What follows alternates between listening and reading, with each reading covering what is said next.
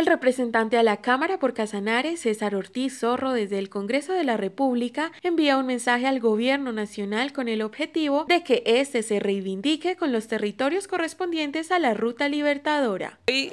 El mensaje que le da al gobierno nacional es que hay que reivindicarse con esta región, porque no solo se pueden hacer homenajes, eh, discursos donde hablan de la importancia de, los llaneros y de todas estas regiones que le dieron la independencia, no solo a, Colombia, sino a seis naciones, son recursos, porque 200 años después seguimos viviendo en el atraso, en la desigualdad, regiones abandonadas, las vías se nos están cayendo, entonces lo que estamos pidiendo es recursos, porque la mejor forma de reivindicarlos es con recursos. Asimismo, el representante de la Cámara ratificó su ponencia frente al proyecto de regalías destinadas a los departamentos productores. Bueno, no, en temas de regalías, recuerden que yo soy autor del proyecto de regalías.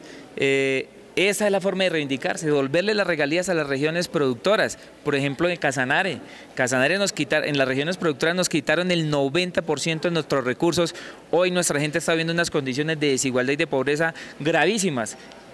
Reivindique ese gobierno de esa manera, devolviéndonos las regalías y haciendo las inversiones necesarias, porque la Orinoquía también es Colombia.